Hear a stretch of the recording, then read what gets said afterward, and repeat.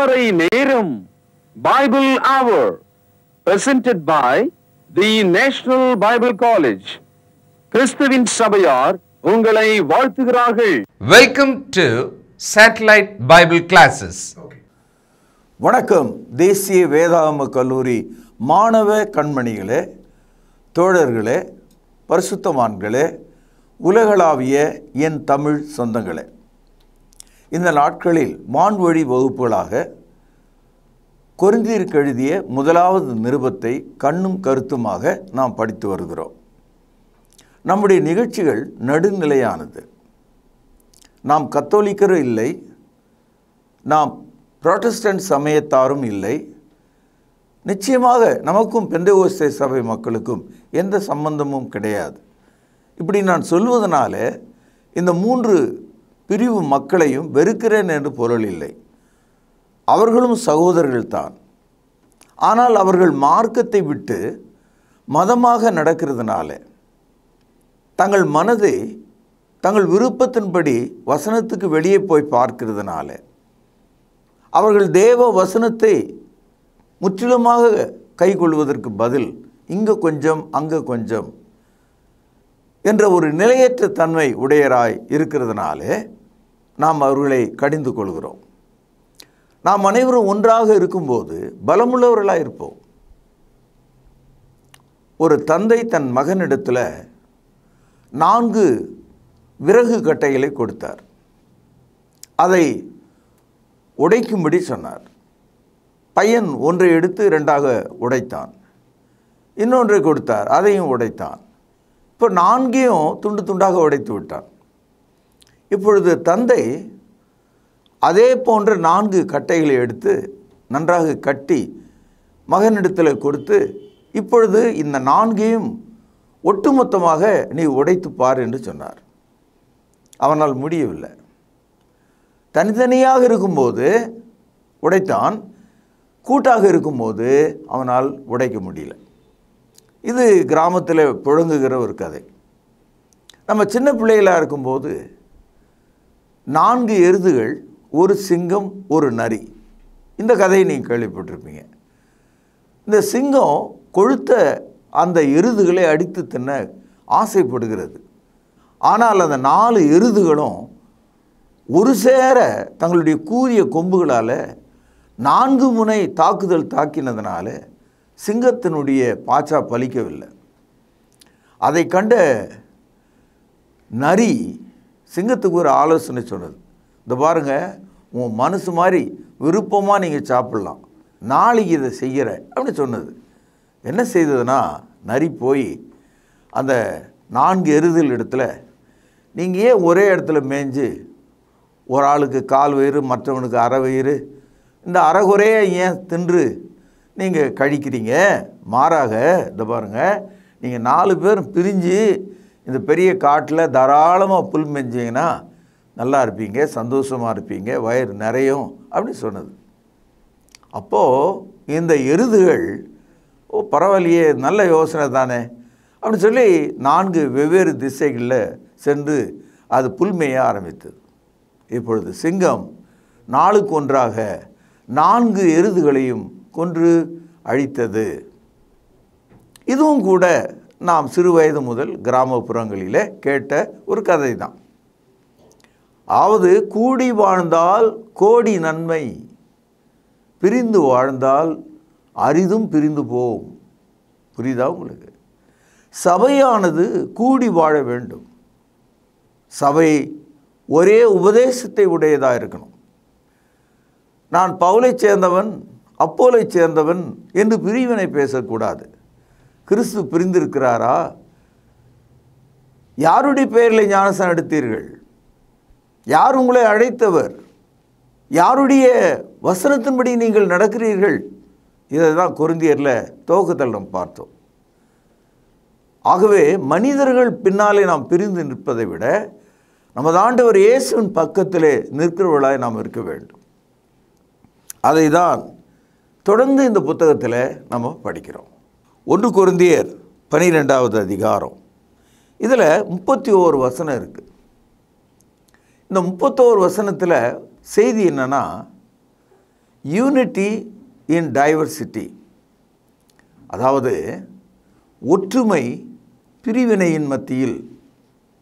சூழ்நிலை பிரிவினையாக இருக்குது ஆனால் அதில் நாம் வந்து ஒற்றுமையாக இருக்கோம் அதான் இன்றைய செய்தி. பாருங்கள் ஒன்று குருந்தியர் பன்னிரெண்டாவது அதிகாரம் பதினெட்டாவது வசனம். தேவன் தமது சித்தத்தின்படி அவயங்கள் ஒவ்வொன்றையும் சரீரத்திலே வைத்தார். அவையெல்லாம் ஒரே அவயமாயிருந்தால் சரீரம் எங்கே? அவயங்கள் அநேகமாயிருந்தும் சரீரம் ஒன்றே. கண்ணானது கையை பார்த்து நீ எனக்கு வேண்டுவதில்லை என்றும் தலையானது கால்களை நோக்கி நீங்கள் எனக்கு வேண்டுவதில்லை என்றும் சொல்லக்கூடாது. சரீர அவயங்களில் பலவீனம் உள்ளவைகளாய் காணப்படுகிறவைகளோ மிகவும் வேண்டியவைகளாய் இருக்கிறது. மேலும் சரீர அவயங்களில் கனவீனமாய் காணப்படுகிறவைகளுக்கே அதிக கனத்தை கொடுக்கிறோம். நம்மில் இலட்சணம் இல்லாதவைகளே அதிக அலங்காரம் பெறும். நம்மில் லட்சணம் உள்ளவர்களுக்கு அலங்கரிப்பு வேண்டியதில்லை. ஒரே சரீரம். இதில் முகத்தில் மட்டும் ஐந்து விஷயங்கள் இருக்கிறத நீங்கள் பார்க்கலாம்.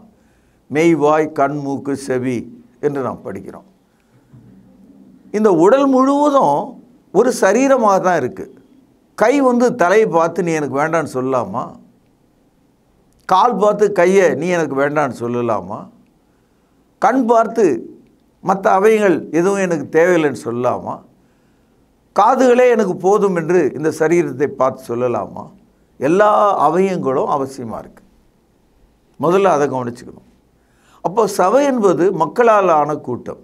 Church is made of people variety of people of different age group ethnic background and languages and many gifts மனித சமுதாயம் மொழியால் இனத்தால் பண்பால் வரங்களால் நிறங்களால் வெவ்வேறுபட்ட மக்கள். அனைவரும் ஒருவராக கிறிஸ்துக்குள் நாம் இருக்கிறோம். ஒருவரை ஒருவர் பகைக்கவோ வெறுக்கவோ அவன் ஏன் இங்கே நான் ஏன் இங்கேன்ற மாதிரிலாம் கேட்கக்கூடாது. கடவுள் நம்ம எங்கே வச்சுருக்காரோ அங்கே இருக்கணும். இது கொஞ்சம் கஷ்டமான வேலை கஷ்டமான போதனை. ஆனால் பைபிள் அப்படி தான் நம்மை எதிர்பார்க்கிறது? நம்முடைய முழு சரீரமும் காதாக இருக்க முடியாது. நம்முடைய முழு சரீரமும் கண்ணாக இருக்க முடியாது. நம்முடைய முழு சரீரமும் மூக்காக இருக்க முடியாது. நம்முடைய முழு சரீரமும் வாயாக இருக்க முடியாது. நம்முடைய முழு சரீரமும் வயிறாக இருக்க முடியாது. விளங்குச்சுல்ல அப்போ நம்ம பல அவயங்களாக இருந்தும் ஒரே சரீரமாக இருக்கிறோம். இந்த சரீரத்தை தேவன் நமக்கு கொடுத்தார்.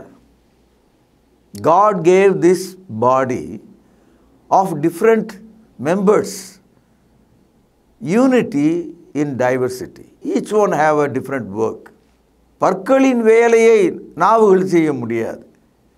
இமையின் வேலையை கண்கள் செய்ய முடியாது. நெற்றி எலும்பின் வேலையை தாடை எலும்புகள் செய்ய முடியாது. சுண்டு விரலின் வேலையை கால் விரலின் கட்டை விரல் செய்ய முடியாது. புரியுதா? ஆக நம்முடைய முழு சரீரமும் ஒன்றாக இருக்கிறது. இதில் ஒரு ஆச்சரியம் பாருங்கள் நம்முடைய கண்களுக்கு ஒப்பாக காதுகளுக்கு ஒப்பாக வாய்க்கு ஒப்பாக நம்முடைய நாசி என்று சொல்லக்கூடிய மூக்குக்கு ஒப்பாக ஒரு சிறப்பான அவையும் கிடையாது. ஆனால் குட்டி குட்டியாக இருக்குது நீங்கள் எங்கேயாவது பார்த்தீங்களா? மூக்குக்கு ட்ரெஸ்ஸு காதுக்கு பேண்ட்டு கண்ணுக்கு உடை ஏதாவது போட்டிருக்கோமோ நம்ம? எதுக்கு போட்டிருக்கோம் பார்த்தீங்களா? ஏன் இதுக்கெல்லாம் உடை போடல? ஓ உடை வந்து பார்த்தீங்கன்னா சட்டையை காட்டினா பொறுமையாக இருப்போம் பேண்ட்டை கட்டினா கூட பொறுத்துக்குவோம். ஆனால் நம்முடைய அந்தரங்க உறுப்பு இருக்க அதையே மறைச்சின்னு ஓடுறோம்? உடை முழுதும் கைண்டால் கூட ஆணாக இருந்தாலும் பெண்ணாக இருந்தாலும் தன்னுடைய அந்தரங்க உறுப்பை தன்னுடைய இரண்டு கைகளால் மறைத்து கொண்டு இன்றைய நவீனமாக உலகத்து மனிதன் அறிவோடு ஓடுவதை நம்ம பார்க்குறோமே. நான் சொல்கிறது காட்டு மிராண்டிகளை இல்லை. ஆதிவாசிகளே இல்லை. நவீனவாசிகளே ஏன் உன்னுடைய விளைவீனமான அந்தரங்க உறுப்பை மறைக்க நீ விரும்புகிறாய்? அதுதான் நாணம் அதான் வெட்கம். அப்போது தேவன் என்ன செய்கிறாராம் நீங்கள் நினச்சிட்டு இருக்க மாதிரி பலவீனமான மக்களுக்கு தான் கிருபையை கொடுக்கிறார். பலமுள்ளவைகள் தன்னை பார்த்து கொள்ளும் என்று அவருக்கு தெரியும். பாருங்கள் ஒன்று குருந்தியர் பன்னிரெண்டாம் அதிகாரம் இருபத்தி நாலாவது வசனம். நம்மில் லட்சணம் உள்ளவைகளுக்கு அலங்கரிப்பு வேண்டியதில்லை. எது லட்சணமான உடம்பில் உள்ள அங்கமோ அதுக்கு வந்து அலங்கரிப்பெல்லாம் செய்ய வேண்டிய அவசியம் இல்லை. மூக்கு இப்படி திருவி வச்சுக்கணும் காதை அப்படி முறுக்கி வச்சுக்கணும் அப்படின்லாம் அவசியம் கிடையாது. ஆகவே லட்சணம் உள்ளவைகள் இவைகள்லாம். இதுக்கு புதுசாக ஒன்றும் செய்ய வேண்டியதில்லை. ஆனால் எதுக்கு தேவைப்படுதுன்னா பலவீனமான அசிங்கமான உறுப்புகளுக்கு தான் அதிக மறைவு தேவைப்படுதான். பாருங்கள். இருபத்தி மூன்றாம் வசனம். மேலும் சரீர அவயங்களில் கனவீனமாய் காணப்படுகிறவைகளுக்கு அதிக கனத்தை கொடுக்கிறோம். நம்ம லட்சணம் இல்லாதவைகளே அதிக அலங்காரம் பெறும். அதிக பாதுகாப்பு அங்கே தான் நம்ம கொடுத்துருக்கோம். அப்போ ஒரு சபைக்குள்ள தேவன் எப்படி நம்மை பராமரிக்கிறார் என்பதற்கு இதை விட ஒரு சிறந்த உதாரணம் விளக்கம். நம்ம போய் இன்னொருத்தர்கிட்ட கேட்டு தெரிஞ்சுக்கிட்டு வரணும்னு அவசியமே கிடையாது. அது மாதிரி சபையில் தேவன் நம்மை அழைத்து ஆசிர்வதித்து ஆவியின் வரங்களை நமக்கு தருகிறார். அந்த வரங்கள் நம்முடைய பயன்பாட்டுக்காக விளக்குகள் வெளிச்சத்தை கொடுப்பதற்காக மேஜைகள் உட்கார்ந்து படிப்பதற்காக நாற்காலிகள் உட்கார்ந்து எழுதுவதற்காக பாய்கள் விரித்து படிப்பதற்காக குவளைகள் எடுத்து குடிப்பதற்காக பாத்திரங்கள் எடுத்து சமைப்பதற்காக. அப்போ நம்ம வீட்டில் இருக்கிற ஒவ்வொன்றுக்கும் ஒரு ரோல் இருக்குல்ல? அது மாதிரி தேவன் நம்மை தமது ஆவியின் வரங்களாலே நிரப்புகிறார். இங்கே பெரிய பிரச்சனை ஒன்று இருக்குது மார்க்கத்தில் இருக்கிறவங்க மதத்தில் இருக்கவங்க மதத்தில் இருக்கிறவங்க ஆவின் வரங்களை குறித்து ஏராளமாக தாராளமாக உரிமையோடு பேசுகிறார்கள். ஆனால் இந்த மார்க்கம்னு சொல்கிறாங்க பாருங்கள் நாங்கள் தான் கிறிஸ்துவின் சபை. இந்த மாதிரி ஆளுங்க இந்த வசனத்து பக்கமே போக மாட்டான். அவனுக்கு அவ்வளோ பயம். கேட்டால் பரிசுத்தாவி. ஆமாம் ஆமாம் இருக்கு இருக்கு. இதுக்கு மேலே அவனால் பேச முடியாது. ஆனால் வசனம் சொல்கிறது ஒவ்வொரு விசுவாசிக்கும் பரிசுத்த ஆவியானவர் வரங்களாக கொடுக்கப்பட்டிருக்கிறார். சில சமயங்களில் முக்கியமான இடத்துல ஒரு ஃபோன் நம்பர் எழுதணும். அல்லது ஒரு காசோலை செக் எழுதணும்னு வைங்க. அந்த நேரத்தில் உங்கள் கையில் பேனா இல்லைன்னா பக்கத்தில் இருக்கிட்ட சார் கொஞ்சம் பேனா கொடுங்க. ஒரு செகண்ட் எழுதிட்டு கொடுத்துட்றேன் இந்த கழுத்து போட்டு கொடுத்துட்றேன்னு நம்ம கேட்குறோம் அப்போது ஒரு எழுதுகிற ஒரு சின்ன முனை கூட ஒரு பேனா கூட அவசியப்பட்டால் கடன் வாங்கலாம் கேட்கலாம். வெட்கத்தை விட்டு இன்னொருத்தர்கிட்ட நம்ம கேட்குறோம் சார் கொஞ்சம் பேனா கொடுங்க. அந்த ஆள் கீழேருந்து மேலே வரைக்கும் பார்ப்போம் ஏ இவ்வளோ பெரிய ஜென்மம் இவ்வளோ நகைலாம் நட்டெல்லாம் போட்டுக்குது. ஒரு ரெண்டு ரூபா பேனா வாங்க முடியாதா? ஒரு ரீஃபில் எடுத்துகிட்டு வர முடியாதா? என்பது போல் நம்ம பார்ப்போம். வெக்கத்தை விட்டு நம்ம கேட்போம். என் சகோதரர்களே விசுவாசிகளாகி நமக்கு ஏன் தேவன் வரங்களை கொடுக்கிறார்? நீங்கள் சுகங்களை அனுபவிக்க வேண்டும். நீங்கள் ஞானம் உள்ளவர்களாக இருக்க வேண்டும். நீங்கள் அறிவுள்ளவர்களாக இருக்க வேண்டும். நீங்கள் பகுத்து பேசுகிறவர்களாக இருக்க வேண்டும் பகுத்தறிவு உடையவர்களாக இருக்க வேண்டும் விசுவாசம் உள்ளவர்களாக இருக்க வேண்டும். ஆகவே தேவன் நமக்கு ஆவியின் வரங்களை தருகிறார். நான் கொஞ்சம் முன்னால் சொன்னேன் இந்த புதிய ஏற்பாட்டு சபை என்று சொல்லக்கூடிய ஆட்கள் பரிசுத்த ஆவியை போதிக்கவே மாட்டார்கள். அப்படி போதித்தால் மேலோட்டமாக சொல்லி தப்பிக்கொள்வார்கள் அவர்களுக்கு நம்பிக்கை கிடையாது. பரிசுத்தாவே நான் இருக்காருன்னு தான் சொல்லுவேனே தவிர அவனுடைய வாழ்க்கையில் பரிசுத்தாவினுடைய வல்லமையோ செய்கையோ வரங்களோ எதுவுமே இருக்காது. இதை நான் கண்டனம் பண்ணுகிறேன் கடிந்து உணர்த்துகிறேன். ஒரு ஆள் என்கிட்ட வந்தார் பாருங்க பரிசுத்தாவியானவர் நமக்கு ஞானஸ்தானம் பெறும்போது தேவன் தருகிறார். அது உண்மைதான். ஏன்னா எந்த ஒரு குழந்தையும் தாயின் வயிற்றுலேருந்து பிறக்கும்போது ரெண்டு வருது ஒன்று உடல் இன்னொன்று உயிர். உயிர் இல்லாமல் உடல் வந்தால் அது செத்த உடல். உடனே எடுத்து அடக்கம் தான் பண்ணணும் அப்போ தேவன் வந்து பிறக்கும்போது நமக்கு ஆவியை தருகிறார். அது உண்மைதான். அதுபோல் ஞானஸ்தானத்தில் பாவம் மன்னிப்புக்கென்று நாம் ஞானஸ்தானம் பெறும்போது ஆவியை தேவன் நமக்கு தருகிறார். கவனிப்போம். அப்போஸ் நடபடிகள் இரண்டாம் அதிகாரம் முப்பத்தெட்டாவது வசனம். பேதர் அவர்களை நோக்கி நீங்கள் மனம் திரும்பி ஒவ்வொருவரும் பாவம் மன்னிப்புக்கென்று இயேசு கிறிஸ்துவின் நாமத்தினாலே ஞானஸ்தானம் பெற்றுக்கொள்ளுங்கள். அப்பொழுது எப்பொழுது ஞானஸ்தானம் பெற்ற பொழுது பரிசுத்த ஆவியின் வரத்தையும் பெறுவீர்கள். பேனால் அடிக்கொண்டிடுங்கள் இப்போ இந்த இடத்துல ஒருத்தர் என்ன சொல்கிறாரு பரிசுத்தாவின் வரம் என்பது சிங்குலர். அது ஒருமையில் பேசப்பட்டிருக்கு. பலவிதமான வரங்களை குறித்து அது பேசவில்லை. என்று சொல்கிறார் இப்போது உங்களுக்கு உயிர் என்று ஒன்று இருந்தால் அந்த உயிர் வந்து உங்கள் உடம்பு ஃபுல்லாக இயங்குமா இயங்காதா? உயிர் இருக்கிற ஆள் கண் மட்டும் திறக்கலாம் எப்படி? உயிர் இருக்கிற ஆள் காது மட்டும் கேட்கலாம் எப்படி? உயிர் இருக்கிற ஆள் கை கால் மட்டும் விளங்கலாம் எப்படி? உயிர் இருந்தால் உடல் முழுதும் இயங்கணும் இல்லையா? அப்போ வரம் என்பது சிங்குலரா ப்ளூரலா ஒருமையா பன்மையா என்பது விஷயம் அல்ல. வ- அவர் ஆவியை ஞானஸ்தானம் பெற்றவர்களுக்கு பரிசுத்த வாழ்க்கை வாழ்வதற்கு தேவன் தருகிறார்.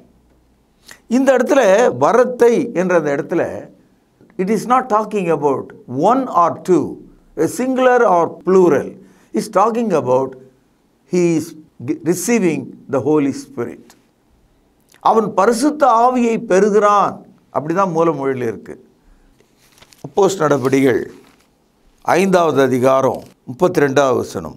இந்த சங்கதிகளை குறித்து நாங்கள் அவருக்கு சாட்சிகளாக இருக்கிறோம். கவனிங்கள் தேவன் தமக்கு கீழ்ப்படுகிறவர்களுக்கு தந்தருளின கவனிங்கள் பரிசுத்தாவின் சாட்சி என்றார்கள். இந்த இடத்துல பரிசுத்தாவின் மட்டும்தான் போட்டுக்குது வரம்னு போடல.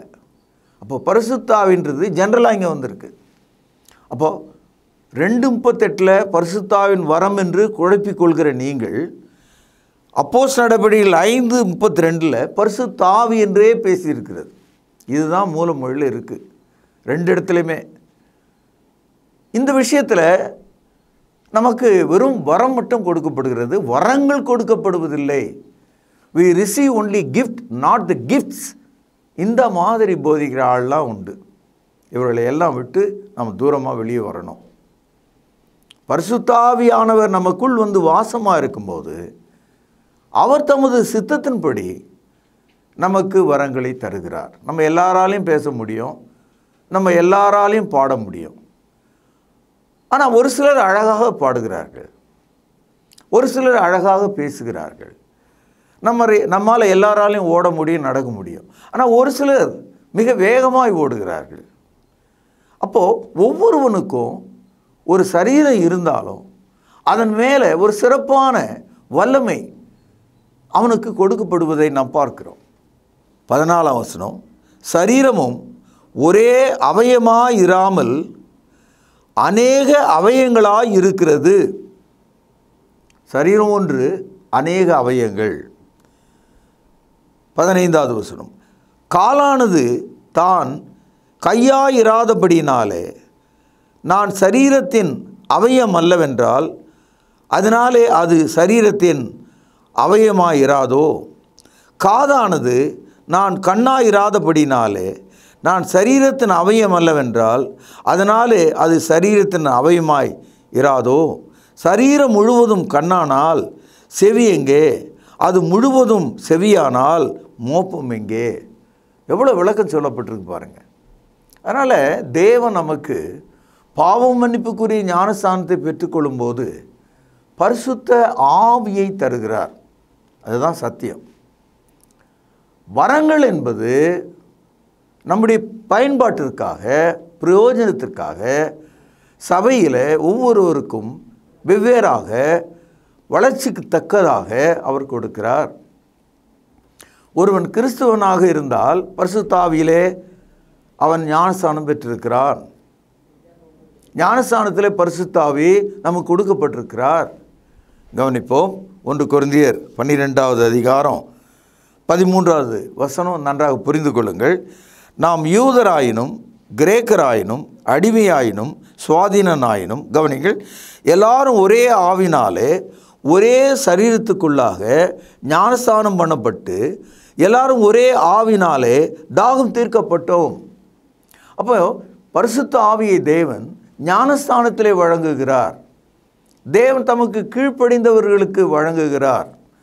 பாவ மன்னிப்புக்கென்று ஞானஸ்தானம் பெற்றுக்கொள்ளும்போது ஆவியை நாம் பெற்றுக்கொள்கிறோம். இதுதான் புதிய ஏற்பாட்டு உபதேசம். பரிசுத்த ஆவியை பற்றி அக்கறை இல்லாமல் தெளிவில்லாமல் புரிதல் இல்லாமல் விமர்சனம் செய்கிற மக்களையும் நான் பார்க்கிறேன் பரிசுத்த ஆவியை தப்பும் தவறுமாக இல்லாதவைகளை இணைத்து பேசுகிற மக்களையும் நான் பார்க்கிறேன் நீங்கள் நடுநிலையாக வேத வசனத்தை நன்றாக புரிந்து கொள்ள வேண்டும். Without holy spirit there is no Christianity the holy spirit is given when you are immersed or baptised in Jesus Christ கிறிஸ்துக்குள்ளாக ஞானஸ்தானம் பெறும்போது உன் பாவங்களை கழுவுகிற தேவன் உனக்கு ஆவியையும் தருகிறார். இந்த இடத்துல ஆவியை தருகிறார் என்று நாம் படிக்கும்போது பல வரங்களாக அவைகள் நமக்கு தரப்படுகிறது. அது அவருடைய சித்தம். நம்ம எல்லாரும் உயிருள்ள மனிதர்களாக இருந்தாலும் நம்ம எல்லாரும் ஒன்றா ஒரே மாதிரியே எல்லா தாளந்துகளை சக்தியை உடையவர்கள் கிடையாது. அது பிரயோஜனத்துக்காக தேவன் அவரவர்களுக்கு தருகிறார். இப்பொழுது ஒரு செய்தியை நமக்கு சொல்லுகிறார். பன்னிரெண்டாம் அதிகாரம் நான்காவது வசனம். வரங்களிலே வித்தியாசம் உண்டு. ஆவியானவர் ஒருவரே. ஊழியங்களில் வித்தியாசம் உண்டு கர்த்தர் ஒருவரே. கிரிகளிலும் வித்தியாசம் உண்டு எல்லாருக்கும் எல்லாவற்றையும் நடப்பிக்கிற தேவன் ஒருவரே. மறுபடியும் இந்த இடத்துல இந்த மூன்று வித்தியாசப்பட்ட வார்த்தைகளை நீங்கள் பார்த்தீங்க. ஆவியானவர் கர்த்தர் தேவன். இந்த மூன்று சொற்களும் ஒரே விஷயத்தை தான் பேசுகிறது. ஆனால் தேவன் ஒருவராயிருந்து மூவராக செயல்படுகிறார். இதுதான் பைபிளினுடைய அடிப்படை போதனை. தேவன் ஒருவரே காட் அலோன் ஆனால் இந்த தேவன் தம்மை பிதா குமாரன் ஆவி என்று தம்மை வெளிப்படுத்துகிறார். ஒரே தேவன் மூவராக செயல்படுகிறார். அதை தான் மீண்டும் இங்கே நம்ம பார்க்கிறோம். பார்ப்போம். வரங்களில் வித்தியாசம் உண்டு. ஆவியானவர் ஒருவரே ஊழியங்களில் வித்தியாசம் உண்டு. கத்தர் ஒருவரே கிரியைகளை வித்தியாசம் உண்டு. எல்லாருக்குள்ளும் எல்லாத்தையும் நடப்பிக்கிற தேவன் ஒருவரே. ஆக இங்கே பிதா குமாரன் பரிசுத்தாவி ஒருவரே என்று நாம் படிக்கிறோம். ஏழாம் வசனம். ஆவினுடைய அனுக்கிரகம் அவனவனுடைய பிரயோஜனத்திற்கென்று அளிக்கப்பட்டிருக்கிறது. நம்ம வீட்டில் எல்லோரும் உட்காந்து சாப்பிடும்போது எல்லோரும் ஒரே மாதிரி சாப்பிட்றதில்ல. ஒரே அளவு சாப்பிட்றதில்ல. அவங்கவுங்களுடைய தேவைக்கு தக்கதாக நாம் சாப்பிட்றோம். வயதானவர்கள் ரெண்டு இட்லியோடு நிறுத்திக்கிறாங்க. இரண்டு மூன்று வயது குழந்தைகளும் ரெண்டு மூன்று இட்லி தான் சாப்பிடுது. ஆனால் நடு வயது உள்ளவர்கள் தாராளமாக ஏராளமாக சாப்பிடுவாங்க. ஏன்னா அவங்களுக்கு செரிமானம் இருக்குது அது மாதிரி கிறிஸ்தவர்களாகி நமக்கு நம்முடைய தேவைக்கு தக்கதாக நம்முடைய சரீரம் எப்படி இயங்குதோ அதுபோல் ஆவிக்குரிய சரீரம் நமக்குள்ளே இயங்குகிறது. எட்டு முதல் பத்து வசனங்களில் அதாவது எட்டு ஒன்பது பத்து. இந்த மூன்று வசனங்களில் பரிசுத்த ஆவியானவருக்குள்ள ஒன்பது வகையான வரங்கள் இருக்கிறதாக நம்ம படிக்கிறோம். ஒன்பது வகையான வரங்கள் இருக்கிறதாக நம்ம படிக்கிறோம். முதலாவது கவனிங்க ஞானம் இரண்டு அறிவு மூன்று விசுவாசம் நான்கு குணமாக்குதல் ஐந்து அற்புதம் ஆறு தீர்க்க தரிசனம் ஏழு பகுத்தறிவு எட்டு பற்பல பாஷைகளை பேசுதல் ஒன்பது வியாக்கியானம் பண்ணுதல். இப்போது இந்த ஒன்பது வரங்களும் ஒவ்வொரு கிறித்தவனுக்கும் சபையில் தேவைக்கு தக்காற் போல தேவனுடைய சித்தத்தின்படி பகிர்ந்து அளிக்கப்படுகிறது. பகிர்ந்து அளித்தர்னா என்ன அர்த்தம்? நம்ம வீட்டில் அம்மா சாப்பாடு எடுத்து வைக்கும்போது நம்ம வயதும் நம்முடைய நோயும் அல்லது நம்முடைய தன்மையும் அறிந்து நமக்கு வேண்டிய சாப்பாட்டை எடுத்து நமக்கு கொடுக்குறாங்க. அது மாதிரி தேவன் ஒரு விசுவாசியாகிய தேவனுடைய பிள்ளைக்கு அவனுக்கு என்ன தேவையோ அந்த வரத்தை அவனுக்கு கொடுக்குறார். நம்ம எல்லாருக்கும் கொடுக்குறார். சில பேர் இந்த ஒன்பது வரங்களை நம்புவது கிடையாது. அவர்களும் ஒரு வகையான ஒரு ம மதத்தைச் சேர்ந்தவர்களைப் போல தான் அவங்க இருப்பாங்க. காரணம் அவன் வந்து பரிசுத்தாவே நம்பாத ஆள். பரிசுத்தாவினுடைய வார்த்தை எப்படி அவனால் நம்ப முடியும்? இது மாதிரி ஆட்கள் நான் பார்க்குறேன். நான் சொல்கிறது புதிய ஏற்பாட்டு சபை பைபிள் படி நடக்கிற மார்க்குன்னு சொல்கிறேனே அந்த ஆட்கள் இப்படி தான் இருக்கான்.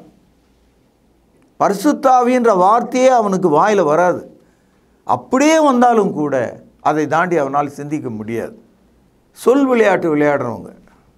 தே ப்ளே வித் வேர்ட்ஸ் நாம் அப்படி செய்யக்கூடாது. ஆவி இல்லாத சரீரம் செத்தது. அப்படியானால் நீ உயிரோடு இருக்கிற மனுஷனாக இருந்தால் உனக்குள்ளே ஆவி இருக்கணும். அப்படி உங்களுக்குள்ளே ஒரு ஆவி இருக்குமானால் அந்த ஆவிக்கு ஒரு வேலை இருக்கணும். ஒரு வரம் இருக்கணும் அந்த ஆவிக்குள்ளே. உனக்குள்ளே ஏதாவது ஒரு வரம் இருக்க தான் செய்யும்.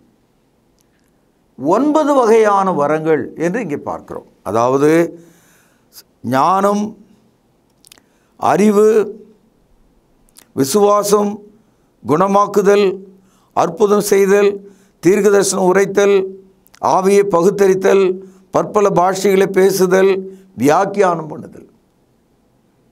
என் அன்பு சகோதரில் இந்த வரங்கள்லாம் தேவனுடைய சித்தத்தின்படி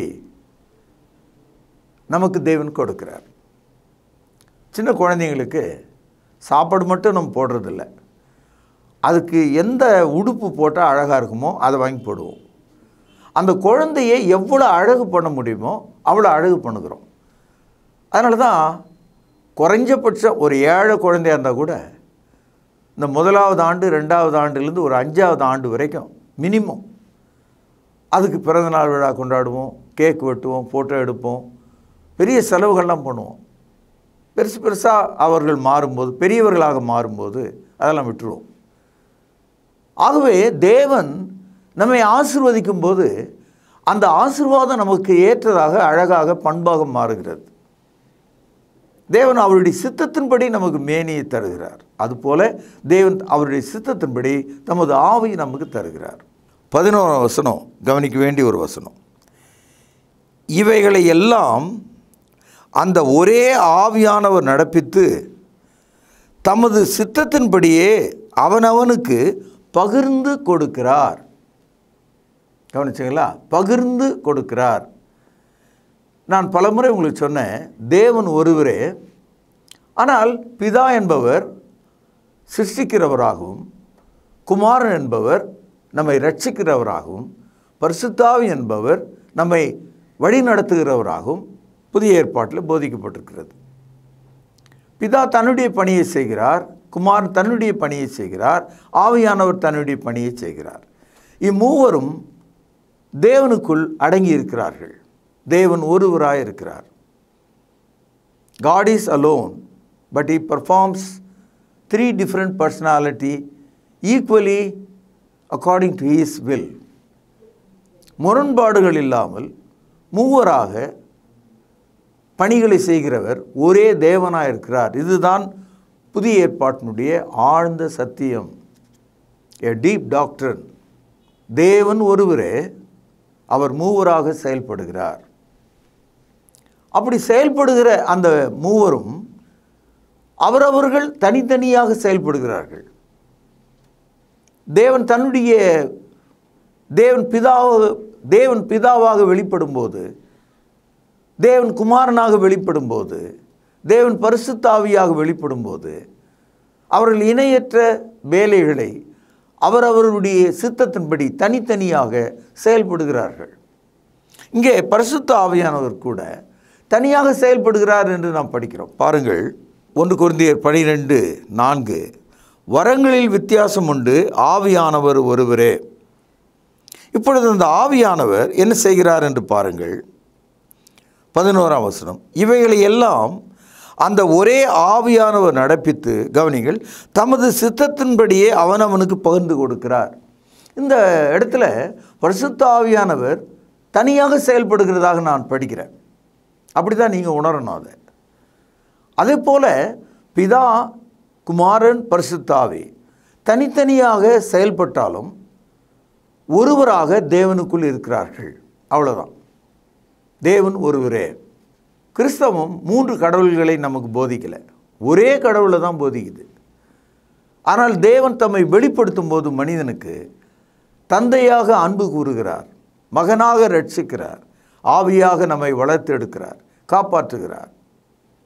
ஆவியிலே பல வரங்களை தேவன் நமக்கு தந்து பிரயோஜனத்துக்காக அதை நமக்கு வழங்குகிறார்.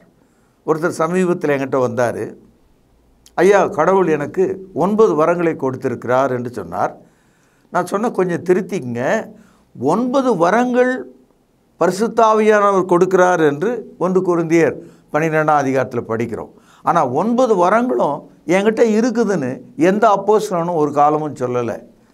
அப்படி இருக்கும்போது நீ யாருனே உனக்கு தெரியாது. எனக்கு ஒன்பது வரங்கள் இருக்கிறது என்று நீங்கள் சொல் சொல்வது உங்களுடைய வாயின் வார்த்தையாக தான் இருக்குமே தவிர அது உண்மை கிடையாது என்று சொன்னேன். காரணம் என்னென்னா ஒன்பது வரமும் பெற்ற ஒரு ஆள் கிடையாது. அவனவனுடைய பிரயோஜனத்துக்கு தக்கதாக. பன்னிரெண்டு அப்போஸ்தலர்களில் எல்லா வரமும் எனக்கு உண்டாயிருக்கிறது என்று சொன்னவர்கள் கிடையாது. அவனவனுடைய பிரயோஜனுக்கு தக்கதாக தேவன் அதை அவனுக்கு கொடுக்கிறார். அதனால தான் ஒன்று குருந்தியர் பனிரெண்டு முப்பதில் இப்படி நாம் படிக்கிறோம்? எல்லாரும் குணமாக்கும் வரங்களை உடையவர்களா? எல்லாரும் அந்நிய பாஷைகளை பேசுகிறார்களா? எல்லாரும் வியாக்கியானம் பண்ணுகிறார்களா? அப்படின்னா என்ன அர்த்தம்? எல்லாருக்கும் எல்லாம் கிடையாது. அவன் அவனுக்கு பிரயோஜனத்துக்கு தக்கதாக தேவன் தரார். இங்கே மூன்று வரங்களை குறித்து பார்த்தோம் இருபதாவது வசனத்தில். இப்போ அதுலேயே தெரியுது எல்லா மனிதனுக்கும் எல்லா வரமும் ஒன்றா கொடுக்கல.